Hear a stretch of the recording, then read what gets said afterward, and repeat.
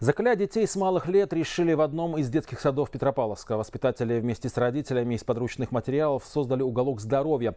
И теперь разминка у малышей проходит весело и с пользой. Они ходят босиком по горячему песку, камням и пням и учатся делать дыхательную гимнастику. Все подробности в следующем сюжете.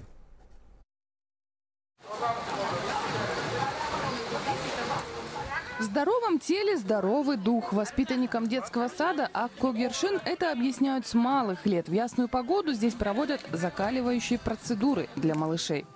Мы тут ходим по пенечкам, по камушкам, чтобы закаляться. Горячо. Тропинку здоровья воспитатели сделали вместе с родителями. Получился своеобразный лабиринт из бутылок, пластиковых труб, камней, керамзита, песка. По этой дорожке дети ходят босиком, потом идут делать разминку и дыхательные упражнения. В связи с, с пандемией данные мероприятия очень актуальны. Это укрепляет иммунитет. И в, данных, в данном закаливании также используется дыхательная гимнастика стрениковская, которая как раз для того, чтобы наши легкие в силу работали. Приготовились.